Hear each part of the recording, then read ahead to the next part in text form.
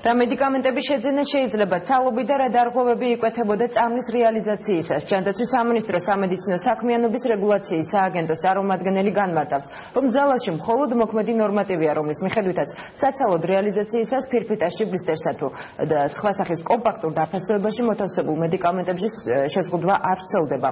თუმცა მოქალაქეებმა დღეს გარკვეული მედიკამენტების ცალობით ყიდვა ვერ მოახერხეს. ჯანდაცვის სამინისტროს განმარტებას და ფარმაცევტების პოზიციას უკვე თიკა ანტულაძე გადაცნობთ. აფთიაქებში მედიკამენტების ცალობით შესაძენად მისულ მოსახლეობას დღეს ფარმაცევტები უარით ისტუმრებდნენ. მიზეზად კი ჯანდაცვის სამინისტროს მიერ დაწესებულ შეზღუდვას უსახელებდნენ. აფთიაქებში ცალობით მხოლოდ იმ მედიკამენტებს ყიდიან, რომლებიც ფირფიტებში ან ბლისტერებშია მოთავსებული. ექსპერიმენტი მაესტრომაც ჩაატარა და რამდენიმე ცნობილ სააფთიაქო ქსელს ესტუმრა. ნუშბა ექვსი აბი შეგიძლიათ მოვცეთ. შემთხვევაში შეგიძლია შემიძლია ერთ კოლოფი მოგცეთ 100 ტაბლეტიანი. 100 ტაბლეტიანი შეზღუდო არის. 20 ტაბლეტიანი მოგცეთ ლერბე 73. და ფირფიტებზე არ გააქვთ.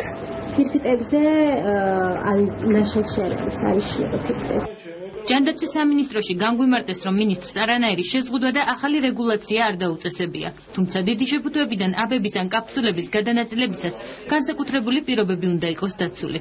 დავით მაჭარაშვილის თქმით, ამ დრომდე მომხმარებლებისთვის მედიკამენტის ცალობით მიყიდვის დროს ფარმაცევტები ამ პროცედურას საბაჭრო დახთან მიასრულებდნენ. სამედიცინო მომსახურების რეგულირების სააგენტოს წარმომადგენლის განმარტებით, პოლიეთილენის ან სხვა შესაფუთ მასალაში გადატანილი აბები ვარგისიანობას კარგავს, რადგან ასეთ დროს მედიკამენტის ქიმიური დაბინძურების გარდა წარმოებლის მიერ მითითებული ვადები წირღვება.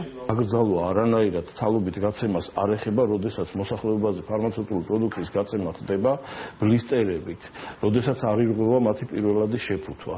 იმ ქვეყნებში, სადაც მათი რეგულაცია დაშვებული არის, ეს ხდება სრულიად განსაკუთრებულ ოთახში, სადაც პროდუქტი დაცული არის ქიმიური და მიკრობიული დაბინძურებისაგან, ასევე მუშაობს მასთან კვალიფიციური პერსონალი და იქ გადაფასება არ ხდება მომხმარებლის თვითოეული ვიზიტისას, გადაფასება ხდება გახსნისას მაშინვე მთლიანი ფლაკონის. ჯანდაცვის სამინისტროში ისიც გითხრეს, რომ თუ ფარმაცევტულ კომპანიას არ შეუძლია მედიკამენტების დიდი შეფუთვებიდან განცალკევების პირობების დაცვა, მათ მომხმარებელს იგივე წარმოების ფირფიტებში ან ბლისტერებში განთავსებული აბები უნდა შესთავაზონ. აქვთ თუ არა მედიკამენტების გადასანაწილებელი სპეციალური აპარატურა და აუცილებელი პირობები იმ ფარმაცევტულ კომპანიებს, რომლებიც აქამდე აბებს ცალობით უპრობლემოდ ყიდნენ. ამ საკითხის გასარკვევად ჩვენ ფარმაცევტულ კომპანიებთან დაკავშირება ვცადეთ, თუმცა მათ უმრავლესობას ამ ეტაპზე კომენტარის გაკეთება არ სურს. დაშლა ხდება თუ არა?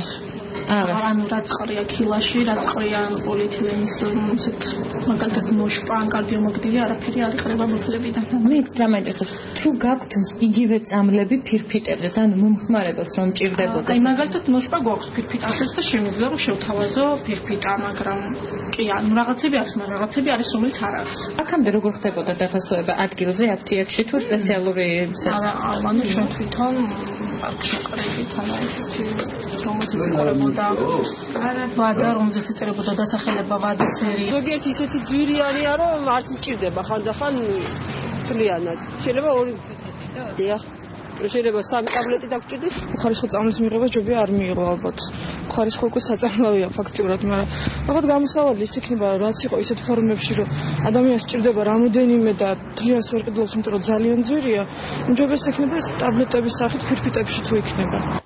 ფირფიტებში მოთავსებული მედიკამენტების ცალობით შეძენა მოსახლეობისთვის პრობლემას არ წარმოადგენს. თუმცა ფარმაცევტების თქმით, ზოგიერთი დასახელების წამლები ბაზარზე მხოლოდ დიდი შეფუთვით არის შემოტანილი. ჯანდაცვის სამინისტრო მომდევნო დღეების განმავლობაში სწორედ ამ რეგულაციებზე აპირებს მუშაობას.